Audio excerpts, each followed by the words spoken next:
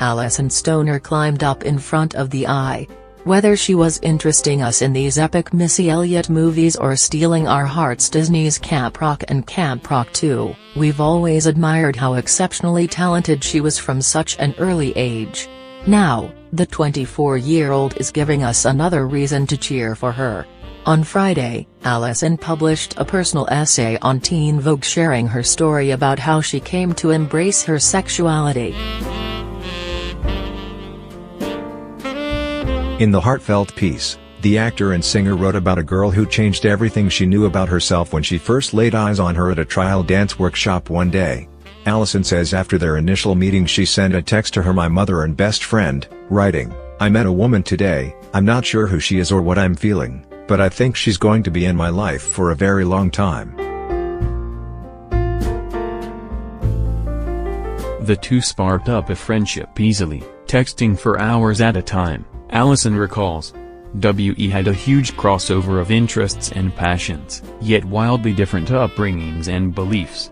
Eventually, she came to the realization that she was falling in love with the woman in question.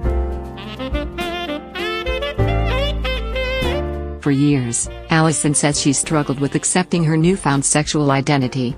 She went to therapy, dated men, and prayed to be healed because of her admitted misconceptions of the LGBTQ community. Fortunately, the love that she received from her partner outweighed the burden of denying her sexuality. Instead, she finally decided to embrace it. For every ounce of hurt I faced, she offered a sea of love and gratitude, Alyson continued.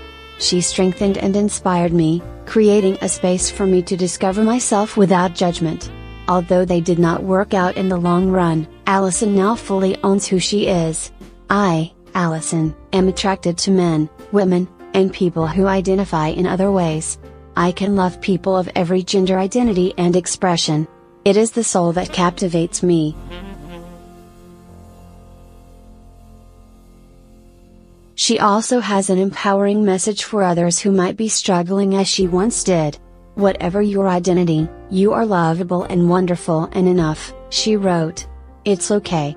Dare to be yourself anyway. Find support, because we're out there. Well said, Alyson. Well said.